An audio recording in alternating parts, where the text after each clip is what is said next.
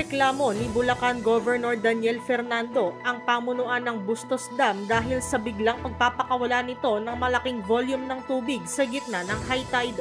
Sa huntahan, ibinahagi ni Fernando na 700 cubic meters per second ang pinakawalang tubig ng Bustos Dam na hindi umano ipinagbigay alam sa Bulacan Provincial Government.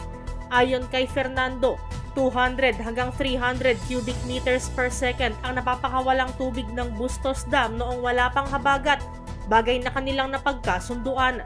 Pero laking gulat ng Bulacan Governor kung bakit binigla sila ng pamunuan ng Bustos Dam at nagpakawala ng malaking volume ng tubig kahit di pa humuhupa ang baha sa Bulacan. ini-inform man yung ating PDRM mo. Kaya Hmm. naging in-inform nga yun, 200, 300. Ah. noon pa yan, Christian Nicole, noon pa yan sinabi ko, dahan-dahan ha, dahan-dahan, dahan-dahan, Mm. dahan-dahan.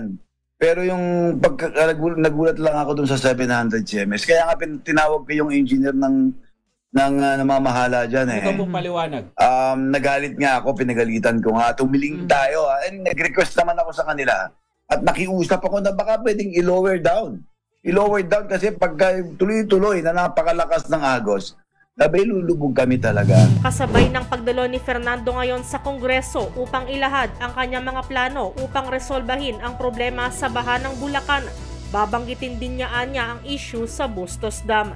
Mula sa kauna-unahan sa Pilipinas, DZRH, ito si Nicole Lopez.